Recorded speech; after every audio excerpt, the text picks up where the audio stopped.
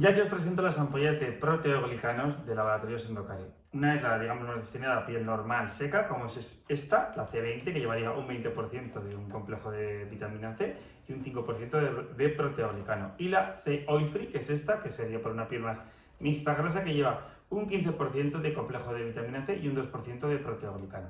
Ya lo sabéis que a mí, mm, bueno, no lo puedo evitar, no soy el máximo o el mayor defensor de los proteoglicanos, pero a mí hay otros productos que vamos a conseguir un efecto hidratación y relleno de la piel muchísimo más evolucionados, pero bueno, el proteoglicano tiene su público.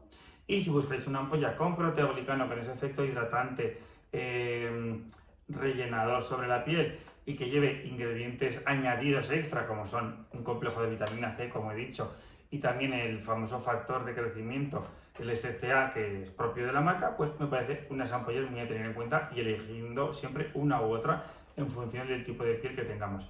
En mi opinión, con media o incluso con una tercera parte de la ampolla sería suficiente. De todas formas, la gama de ampollas de Endocare es muy amplia. Eh, aquí en este link, por ejemplo, os, enviará las, que llevan proteoglicanos dentro del laboratorio de Endocare.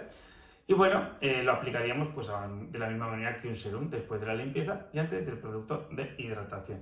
Y sobre todo siempre elegir bien la fórmula porque el proteoglicano es un ingrediente que suele dar bastante pesadez eh, al rostro, sobre todo en los meses en los que sudamos más o en los meses de verano. Bueno, un producto, como digo, para el público al que le gustan los proteoglicanos. Claro, clarinete.